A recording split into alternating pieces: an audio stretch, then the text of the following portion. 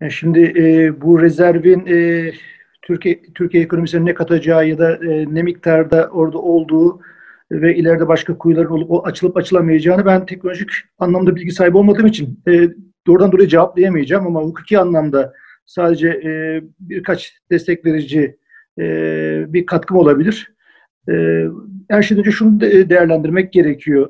Dünyada karadaki kaynakların kıt e, olması ve kıt kaynaklara da neredeyse hemen hemen tamamıyla ulaşıl, ulaşılmış olması denize olan özlemi daha da arttırdı. Ve bunun beraberinde Türkiye'deki yansıması mavi vatan şeklinde gerçekleşti. Şimdi denizdeki kaynaklara erişim imkanı arttıkça ülkelerin refahı da artıyor şüphesiz. En güzel örnek Norveç'tir. Dünyada denizcilik konusunda en ileri e, giden ülkelerden bir tanesi, devletler devletlerden bir tanesi Norveç oluyor. Norveç 60'lı yılların e, sonlarına kadar dünyada belki e, en fakir demeyeyim ama gelişmekte olan ülkelerden bir tanesiydi. Ne zaman ki 60'lı yılların sonunda 68'li yıllarda vesaire e, petrole ve doğalgaza ulaştığı denizlerinde o günden bugüne elde etmiş olduğu geliri de çok iyi kullanarak dünyanın en refahkar e, ülkelerinden biri haline geldi, devletlerinden biri haline geldi. Ve bunu da doğal olarak tebaasına, halkına yansıttı. Şimdi bunun benzerine Türkiye'nin yaşamaması diye bir şey yok. Türkiye'nin denizlere olan e, şöyle diyeyim kıyıların uzunluğu itibariyle denizlere olan sahipliği Norveç'te kıyaslandığında daha fazla gibi gözüküyor. E, doğal olarak e, tabii doğal olarak her deniz alanında mutlaka bir enerji kaynağı olacak anlamına gelmiyor ama uzun yıllardır Türkiye özellikle Karadeniz'de bu nevi araştırmaları bir yandan yabancı şirketlere e, yap, yaptırıyor ve bir yandan da yeni kazanımlarıyla Türk gemileri vasıtasıyla yürütüyordu. Ve Sayın Cumhurbaşkanımızın ifade ettiği üzere büyük miktarda bir gaz rezervine ulaşıldığı haberi geldi. Tabii bunun e, sonuçlanması nihayetinde e, bunun işletilme aşamasına geçirebilmesi biraz zaman alacak anladığım kadarıyla bir 5 yıldan bir uzun süre bir zaman alacak ama önemli orada bir rezervin ortaya çıktığı e, anlaşıldı. Dikkat edilmesi gereken husus şu, rezerv orada olabiliyor ama açmış olduğunuz kuyunun mutlaka her zaman bir neticeye e, varacağı konusunda bir garantiniz yok. Norveç olayında sadece şunu ifade etmek istiyorum. E, takriben 10 yıla yakın bir araştırma yapıyorlar. Onlarca kuyu açıyorlar. Ve artık iş bitiyor. Son kuyuyu da öylesine aç, açıyorlar. Yani son kuyuda petrolü buluyorlar. Ve o günden bugüne Norveç bu aşamaya geldi. Şimdi şunu gösteriyor. Demek ki Karadeniz'de doğal gaz var. Karadeniz'de petrol var. Ee, ve bunun en büyük kanıtı, kanıtı da Sayın Cumhurbaşkanımızın ifade etmiş olduğu rezerv. Ee, şimdi Türkiye Cumhuriyeti Devleti Karadeniz'de münasır ekonomik bölge ilan etti. Yani kıta sahanlığını orada konuşmuyoruz. Ve münasır ekonomik bölgesi üzerinde böyle bir değere sahip. Ee, Türkiye yani en sonunda e, yapmış olduğu e, yatırımın karşılığını e, aldı diye düşünüyorum ben. E, 2010'lu yılların başına itibaren çok büyük yatırım yaptı Türkiye e, deniz araştırmalarına ve ileride bir petrol doğalgaz e, rezervi bulunduğu takdirde bunları işletebilecek e, işletebilmek amacıyla büyük bir yatırım yaptı ve şu an için eğer o doğalgaz e, yakın bir zamanda çıkacak olur ise e, Türkiye bir yandan araştırma ve işletim faaliyetlerinde dünyada öncülük ederken diğer yandan da e, söz konusu rezervler bakımından da dünyada öncü ülkelerden biri haline gelecek. E, bunun doğal olarak Türk halkına çok güzel yansımaları olacağını düşünüyorum ben. E, bizim en büyük gir, girdiğimiz yani ithal ettiğimiz malzeme ne yazık ki petrol ve doğalgaz türevleri.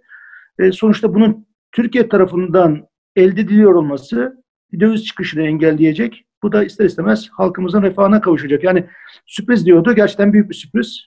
Umarım e, bu sürprizi başka sürprizlerle destekleriz ileride. Allah e, şöyle söyleyeyim. E, bundan daha düşük bir rezerv de bulunsaydı önemliydi. Yani e, bir kere yapmış olduğunuz yatırımın karşılığını alabilecek bir ilk defa bir rezerve ulaşıyorsunuz. Yani bu çok önemli bir gelişme.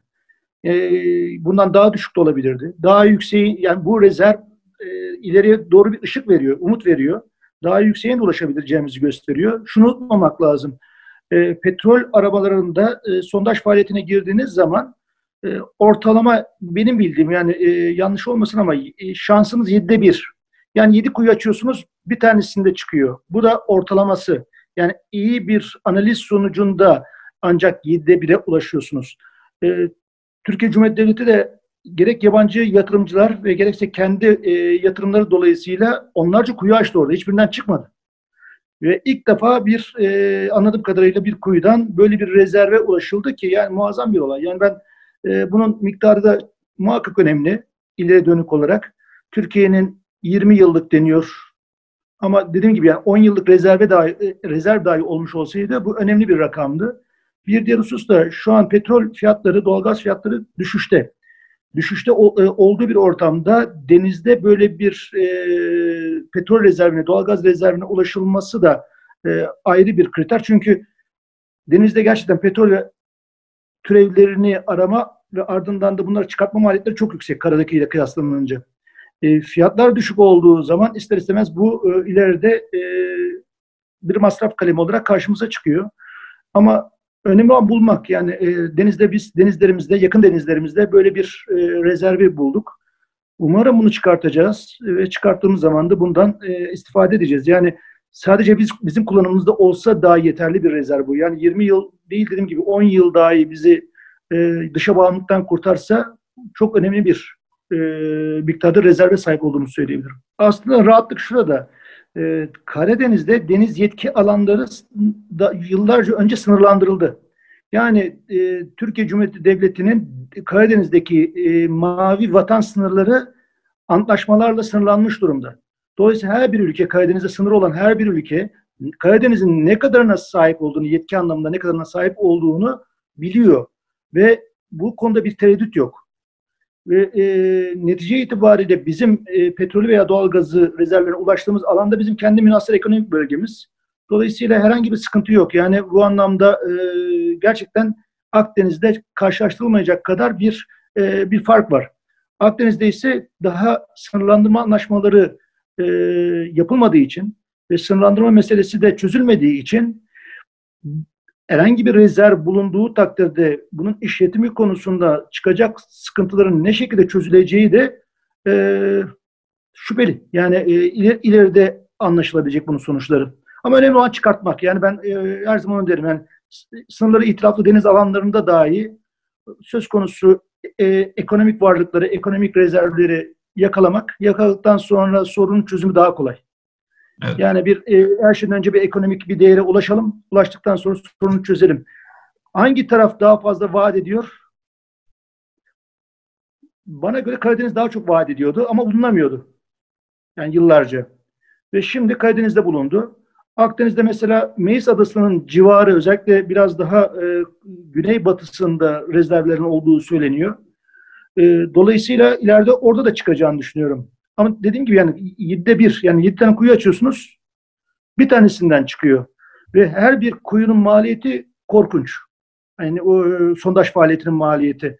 Ee, böyle bir maliyete girme gücüne sahip olmamız gerekiyor ki şu, anda 2010'lu yıllardan itibaren alınan e, kararlarla e, bu güce ulaştı Türkiye. Yani e, ve nihayetinde de Allah şükür e, böyle bir rezerv karşımıza çıktı diyelim.